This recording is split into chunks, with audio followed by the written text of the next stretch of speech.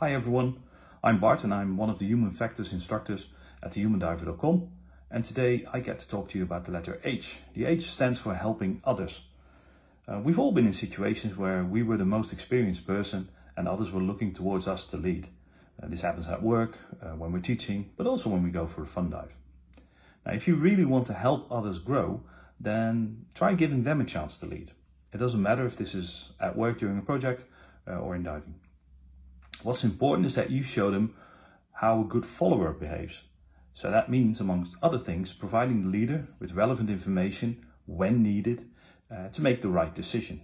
This is called leading up the chain uh, by Willink and Babin in uh, a book they wrote called Extreme Ownership and How US Navy SEALs Lead and Win.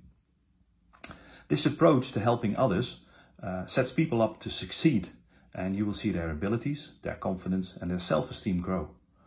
But remember, you have to take extreme ownership. Uh, you are still the leader, and as the leader, you are the one who's responsible when things go bad, not your team and not the person who was given the lead.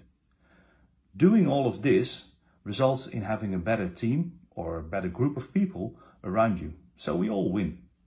In the end, helping others succeed, uh, it's like the gift that keeps on giving.